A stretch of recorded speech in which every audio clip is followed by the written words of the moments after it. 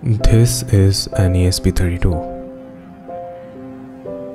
This one has 30 pins containing 15 pins on both the sides. I will take a breadboard along with ESP32 to attach them like this. I will take a USB cable coming from my computer and uh, connect it with ESP32. And when I successfully upload the code on it, the blue light starts blinking. The blue LED is directly connected with the GPIO pin number D2.